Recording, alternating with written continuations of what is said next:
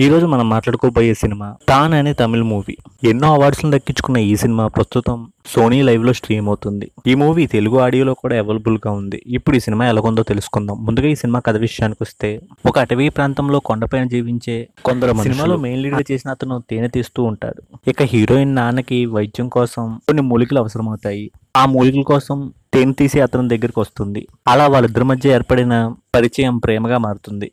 ఇక అదే టైంలో కొందరు రాజకీయ నాయకులు కొండపైకి వచ్చి ఇక్కడ కొన్ని ఫ్యాక్టరీలు కడుతున్నామని మీరంతా కిందకు వచ్చేయాలని చెప్తారు. దానికి ఆ తేనె తీసి అతను ఒప్పుకోకుండా వాళ్ళని ఎదిరించి మాట్లాడతాడు. ఇక తర్వాత కొన్నాళ్ళకి తను ప్రేమించి పెళ్ళి చేసుకున్న భార్యకి చిక్కిన వ్యాధి ఒకటి వస్తుంది. దానికోసం అతను పెద్ద పెద్ద హాస్పిటల్ చుట్టూ తిరుగుతూ చాలా ఇబ్బందులు పడాల్సి వస్తుంది. అలాగే ఎటువంటి ఐడెంటిటీ లేని అతనికి ప్రభుత్వం నుంచి సాయం అందిందా? వాటిని సంపాదించడం కోసం ఇతను ఎలాంటి ఇబ్బందులు ఎదుర్కొన్నాడు అనేదే సినిమా. ఇక ఈ సినిమాలో నటీటుల విషయానికి వస్తే ఈ సినిమాలో మెయిన్ లీడ్గా చేసిన అతను తన పర్ఫార్మెన్స్తో బాగా ఆకట్టుకుంటాడు కొన్ని సీన్స్లో అయితే మనల్ని ఎమోషనల్ అయ్యేలా కూడా చేశాడు.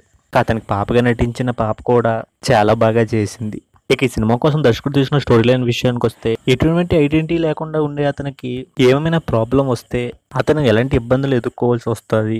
అలాంటి టైంలో ప్రభుత్వ ఉద్యోగులు ఎలా రెస్పాండ్ అవుతున్నారు? అలాగే ఇంకొన్ని పాయింట్స్ గురించి చాలా బాగా డిస్కస్ చేసినట్టు అనిపించింది. ఇక ఈ సినిమా స్క్రీన్ ప్లే విషయానికి వస్తే సినిమా స్టార్ట్ అవ్వడం బాగానే స్టార్ట్ అవుతుంది. కొండ ప్రాంతం మనుషులు అక్కడి వాతావరణం ఆ లొకేషన్లు చూడడానికి చాలా అందంగా అనిపించాయి. ఆ తర్వాత ప్రేమ కథగా మారి పెళ్ళి చేసుకోవడం వాళ్ళ లైఫ్ని హ్యాపీగా గడుపుతున్నట్టు చూపించడం లాంటి సీన్స్ బాగానే అనిపించాయి. ఇక ఎప్పుడైతే ఆవిడకి ప్రాబ్లం వస్తుందో అప్పటి నుంచి సినిమా చాలా ఎమోషనల్గా మారిపోతుంది. మనకి భార్యకు వైద్యం చేయించడానికి ఆరోగ్యశ్రీ కార్డు కావాలని హాస్పిటల్లో చెప్తే ఏ ఐడెంటిటీ లేని అతను ఆరోగ్యశ్రీ కార్డుని సంపాదించడానికి ఎన్ని తిప్పలు పడ్డాడు అనే సీన్స్ని చాలా ఎమోషనల్గా చూపించారు. అలాగే సినిమా లాస్ట్ ఇరవై నిమిషాల సీన్స్లో వచ్చే ఎమోషన్ సీన్స్ అయితే కంటతడి పెట్టించే విధంగా ఉంటాయి. ఇక సినిమాలో మ్యూజిక్ సినిమాకి తగ్గట్టు మంచి ఫీలింగ్ ఇస్తూ బాగుంది. ఇక సినిమాలో కెమెరా వర్క్ కూడా చాలా బాగుంది. కొండ ప్రాంతంలో ఉన్న లొకేషన్స్ని బాగా చూపించినట్టు అనిపించింది.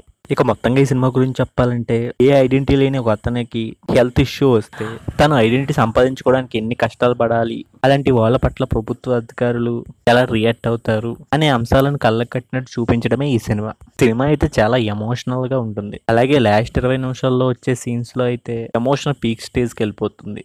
ఇక మీరు అతనికి ఎలాంటి ఇబ్బందులు ఎదురయ్యాయి? అనే విషయాన్ని తెలుసుకోవాలన్నా లేదా మీరు ఇలాంటి ఎమోషనల్ కథలు ఇష్టపడేవారైనా ఈ సినిమాని ఒకసారి ట్రై చేయొచ్చు. Thank you for watching this video please like and subscribe to my channel for more information